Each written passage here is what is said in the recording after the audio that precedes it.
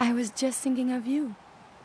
Your thoughts? Are Deathclaws always violent? Perhaps play some music for them, or poetry. Are things okay between you and me?